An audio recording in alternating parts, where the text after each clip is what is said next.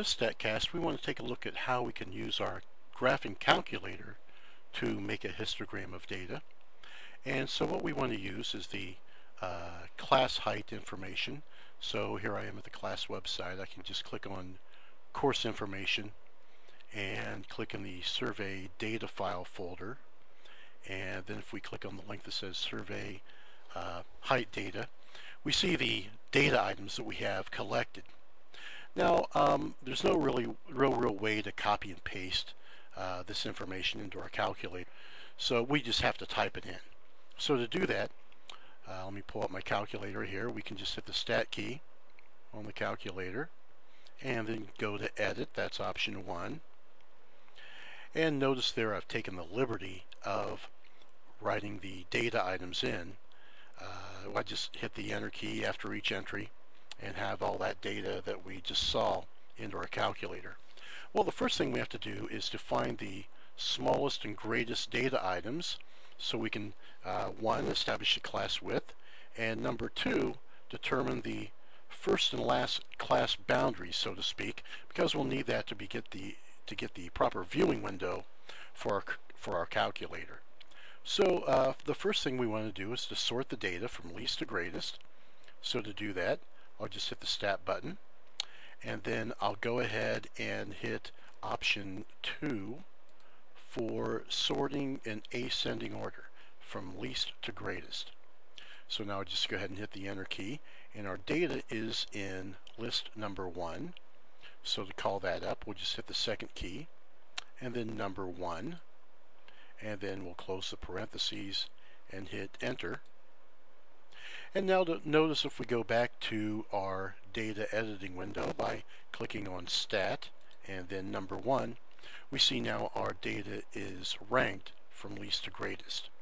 So we see the smallest number there in the data set is 59 and we can scroll down to the bottom and find our biggest data item and that number ends up being 72. So let's uh, collect our thoughts here so we can go ahead and uh, select the viewing window. We wanted to make a histogram of that survey height data using five classes. Our class width is the largest data item, that's 72, minus 59, that's the smallest one. And then we want to divide that difference by 5. So we end up with 2.6, and we always want to round that up to the next higher whole number. So it looks like our class width is going to be 3. Since the smallest data item is 59, our first class boundary, in other words, the lower boundary of the first class, is 58.5. And the last class boundary, in other words, the upper boundary of the fifth class, in this case, is 73.5. We took the largest data item and added on one half of a unit. Now, let's go ahead and use that information to set our viewing window so we can graph the histogram. Let's first set up the stat plot so we can do that. To do that, uh, to get the stat plot set up, we'll hit the second key and then y equals to get the stat plot menu. And let's go ahead and put this plot in plot number one. I'll go ahead and hit the enter key now. And now we want to turn this plot on, so I'll just highlight on and click enter. Now notice uh, on my large screen here, we see in the top row of icons for the type the one that looks like a histogram is in the top row third position. So I'll just scroll over there highlight that hit enter. And remember our data is in list number one. So for X list we can just leave that at number one.